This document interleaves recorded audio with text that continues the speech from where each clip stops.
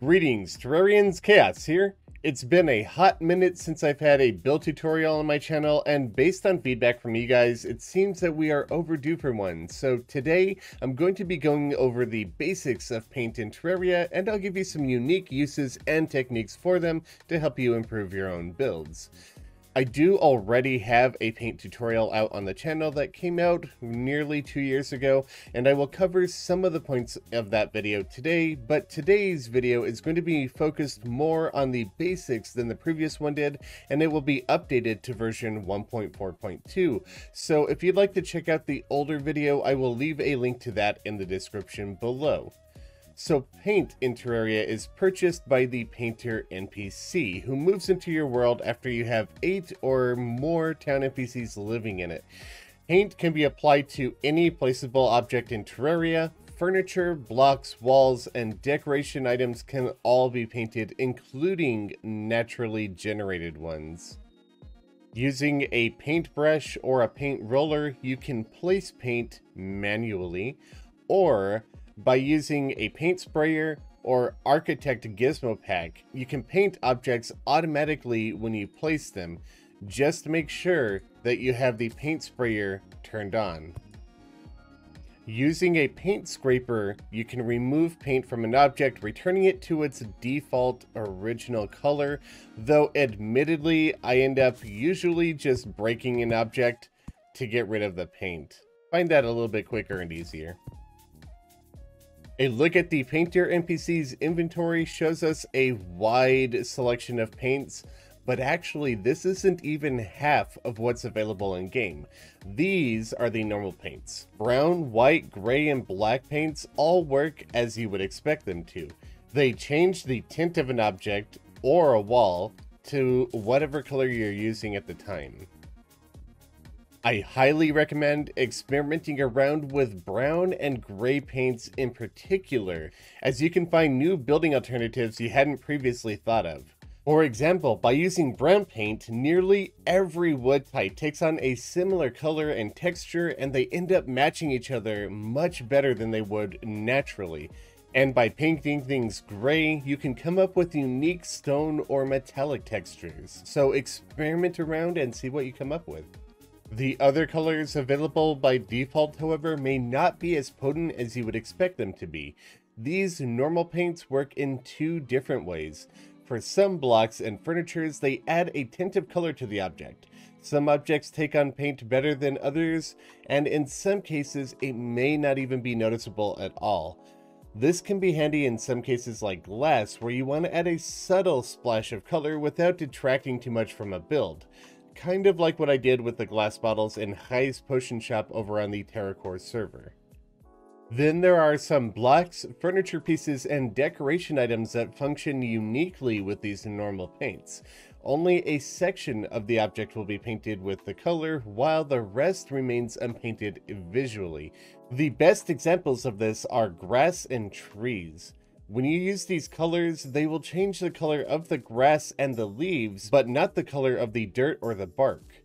Simply using some yellows, oranges, and reds, you can change the trees and grass to give them an autumn feel to a landscape. And interestingly enough, if you paint grass and it spreads to a nearby dirt block, the new grass will be already painted. Any tall grass that grows on top of it will also take on that paint, and if you plant an acorn on top of painted grass, when it grows, it will take on the color of the grass below it. If you are building custom trees, painting living leaves and mahogany leaves the same color will help you use both of these together in the same tree for added texture without the colors varying too much.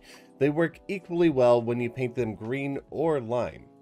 You'll have to experiment around with different objects to see what can be lightly painted and what can't. And just a small tip, if you use orange paint instead of brown paint on various types of wood, it looks more faded, but still wooden, as if it's been sitting exposed to the elements for years. This can be a great technique for ruins or older looking builds.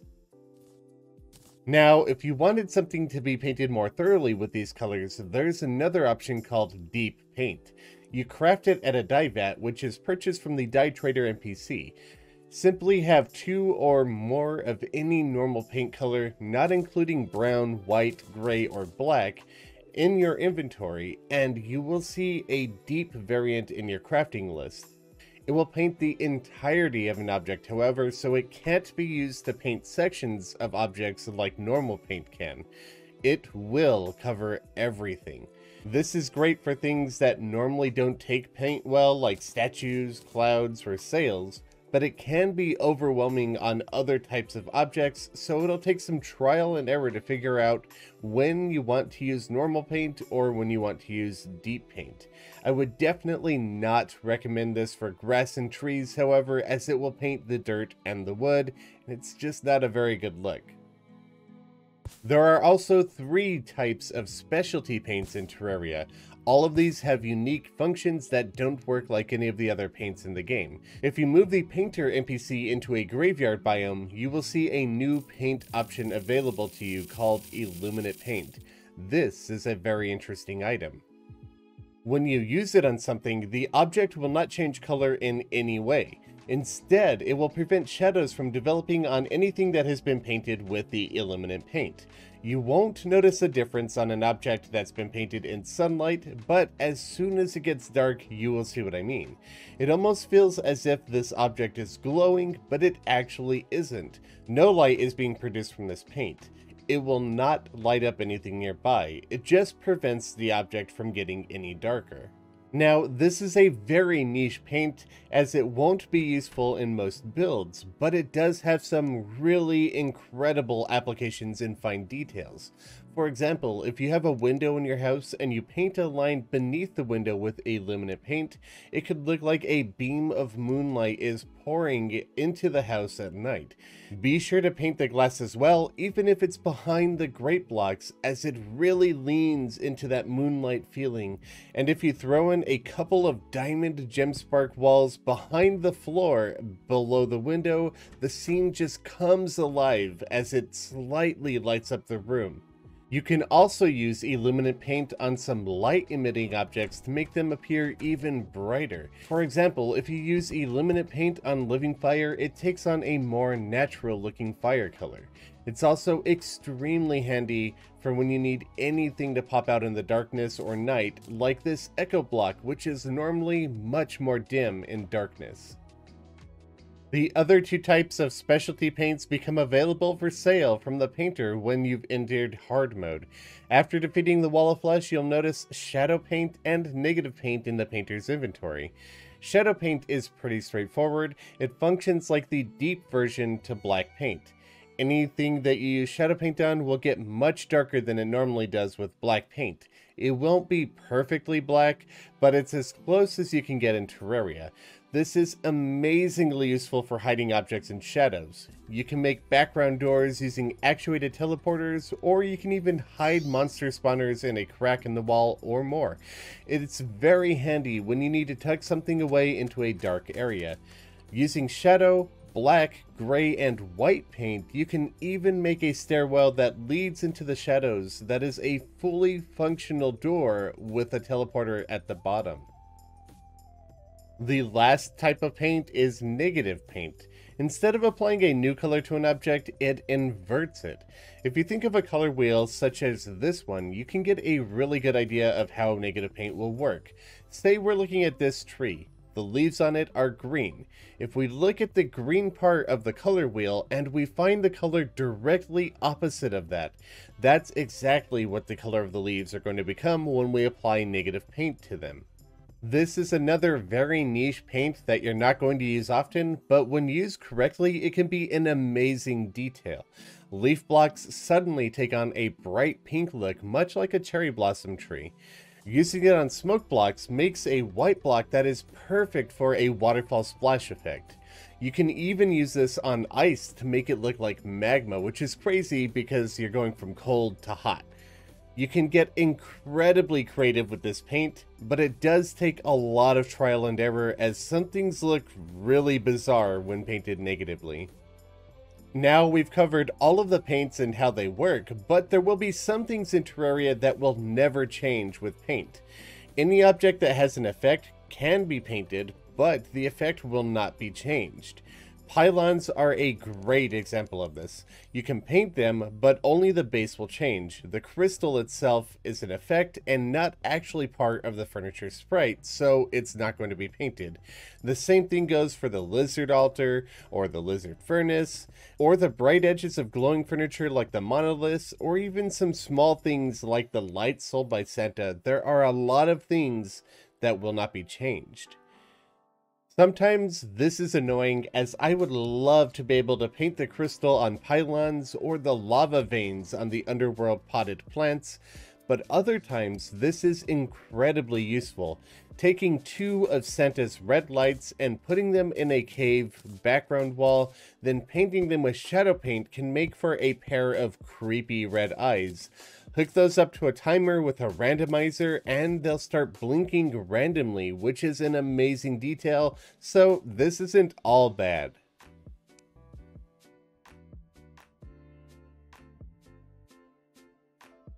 Similar to furniture effects, particles emitted from blocks and furniture can typically not be painted. You'll be able to paint the chimney or the bubble machine, but not the smoke or the bubbles that they produce. This is the case for anything that creates particles with one exception, the leaves that fall from trees and leaf blocks. Whenever you paint these, any leaves that fall from them will have the same appearance, ensuring that no matter what, they will match whatever you want your tree to look like. This applies to every single paint except for illuminant paint. For whatever reason, the leaves do not take on the Illuminant Paint's glow effect, and they will remain dark at night.